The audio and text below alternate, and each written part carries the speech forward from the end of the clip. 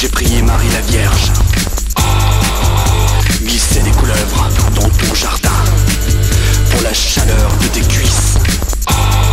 J'ai dit la messe.